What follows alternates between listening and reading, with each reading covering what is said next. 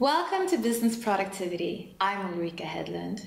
In order to attract your readers and provide them with a great reading experience, it's important that you, as a writer, think about the layout and the design of your article, as well as the content. There are a number of tools in Word 2010 that can help you design your document. In this video, I'll show you how you can create an eye-catching article using Word 2010. I'll show you how you can format your text in multiple columns, how you can insert and edit images, and finally, how you can create your own style sets. In order to get some inspiration for my article, I'm going to look at some of the available templates. I'll go to the File tab and click New. Here I can browse through the various category templates, or I can search. I'll type article in the search box and here I can see a number of different templates. If I want to use one of them, I can just click the download button or double click the template. In this case, I want to show you how I can create an article from scratch. So I'll click Home and then double click the blank document option. The article that I want to create on running effective meetings will look like this when it's done. I'll start my article by writing the title, Running Effective Meetings. I'll mark the title and click on the title style to tell Word that this is the title. I'm not thrilled about the blue formatting and the font used for the title, but I'm going to leave it for now and change the look and feel when I've finished writing all the text in the document. To make the words in the title stand out more, I want to capitalize the first letter of each word. Having the title marked, I'll click the Change Case button and select Capitalize each word. Next, I'll write the outline for the article. To place the cursor, I'll just double click in the position where I want to start writing. The outline will also work as the headings for each paragraph. I'll mark the headings and apply the heading 1 style. Again, I'm not going to make any changes to the formatting of the style right now. Now I'll start writing the text of my article. When I've finished the contents of my article, I'll write the introduction text. I want this introduction text to stand out from the rest, so I'll mark it and apply the emphasis style. Now that I'm done with the contents of the article, I'm going to work on the formatting and layout. To make it easier, Word has a number of built-in style sets that I can use. A style set is a combination of fonts, colors, and layouts that work well together. Since I have applied styles to the text in my document, I can apply these different style sets to see if I find one I like. If I'm happy with a style set, and I only want to change the color theme, I can select colors.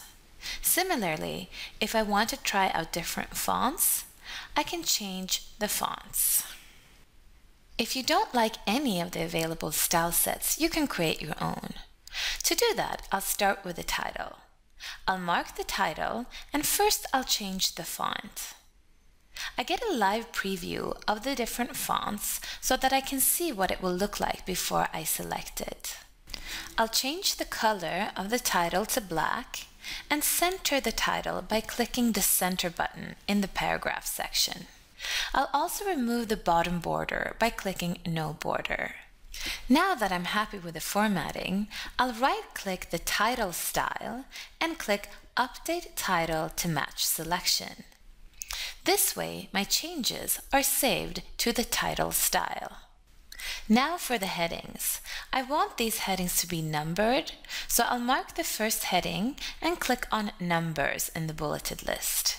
Here I can select a number of different numbering formats. I'll just select the default numbering.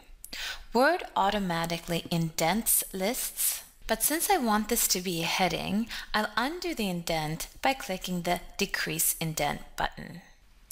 I'll scroll down the font list and select a new font for my heading 1 style. I'll also change the color to olive green. As you can see, there's quite a lot of space between my paragraphs. I want the article to be a bit more compressed, so I want to remove the space before the headings To do that, I'll go to the paragraph section and on the line and paragraph spacing button, I'll click remove space before paragraph. To apply this change to all the headings, I'll right click the heading 1 style and click update heading 1 to match selection. Now I want to remove some space on the sides by making the margin smaller. To do that, I'll go to the Page Layout tab and click Margins. Here I can select between a number of predefined margin settings. I'll select the narrow margins. Now I want to change the layout so that the six paragraphs are in two columns. To do that, I'll mark the text and on the Page Layout tab, I'll click Columns and select two columns. My text is now organized into two columns, making it look more like a magazine article. Now I want to insert a hyperlink in my text. I'll mark the text I want to add the hyperlink to, go to the Insert tab, and in the Links section, I'll click Hyperlink. I can also use the keyboard shortcut Ctrl-K. I'll click Browse to look for the web page I want to link to. Here, I'll type how to take good meeting minutes and open up the web page from my blog on how to take good meeting minutes that I want to reference. I'll go back to the Insert Hyperlink dialog box and click OK to insert the link. Now I want to add some pictures to make the article more appealing to the eye. I'll place the cursor where I want to position the picture, and on the Insert tab, I'll click Picture. And here I'll select the image I have and of an agenda. When I have an image marked, the picture tools appear. Here I have a number of options to edit the image, but in this case, I'm happy with the image and the placement of it. Next, I want to insert an image at the top of the article.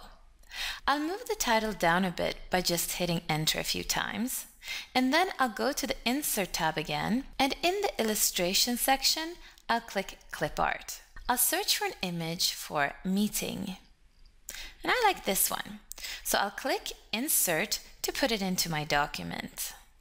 I'll close down the clip art panel and zoom out a bit by clicking the minus sign on the zoom slider. I want this image to be positioned at the very top of the page, covering the margins.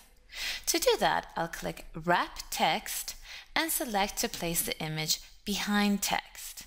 Now I can freely move the image as I want on the page. I'll resize it so that it covers the full length by pulling the bottom right corner while I hold down the Shift key. This way, the image keeps its proportions. I'll click Crop, and then I'll crop the picture from the top and then the bottom. Now I'll move it to the right position. As you can see, it's still a bit too large, so I'll double click the image again and crop some more. There, that's perfect. The final touch is to even out the text on the second page to balance the article. I'll place my marker in front of the last paragraph, click Page Layout, Breaks, and then insert a column break. Now the last paragraph will start in the second column. Now I'm done with my article. I'll click Save or press the keyboard shortcut Ctrl S to save the document. In addition to saving my article, I also want to save this style set. That way I can use the same look and feel for future articles without having to change the fonts all over again. To save the style set, I'll click Change Styles, Style Set, and then Save as Quick Style Set. I'll give it a name, Article, and now, when I go to the style set gallery, my newly created style set from my article will be there as an available option. By using the built-in themes in Word 2010, you can get a head start and get some great inspiration. But to really create an eye-catching article, you need to know how to create your own styles. I'm Ulrika Hedlund with Business Productivity Thanks for watching.